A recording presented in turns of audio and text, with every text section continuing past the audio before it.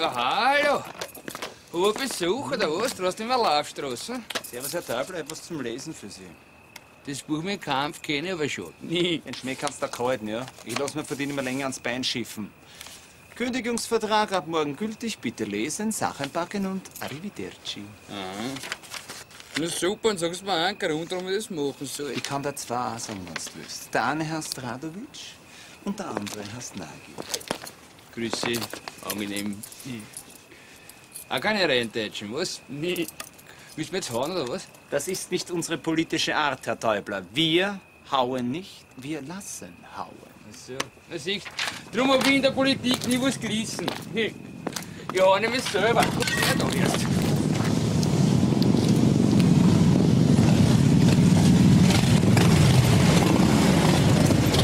Was ist denn dem? Motorradfahrer. Grüße. Gern die Hitten da. Äh, Ehren. Und worum geht's dir, Herrn? Schönen Gruß von meinen kleinen Brüdern.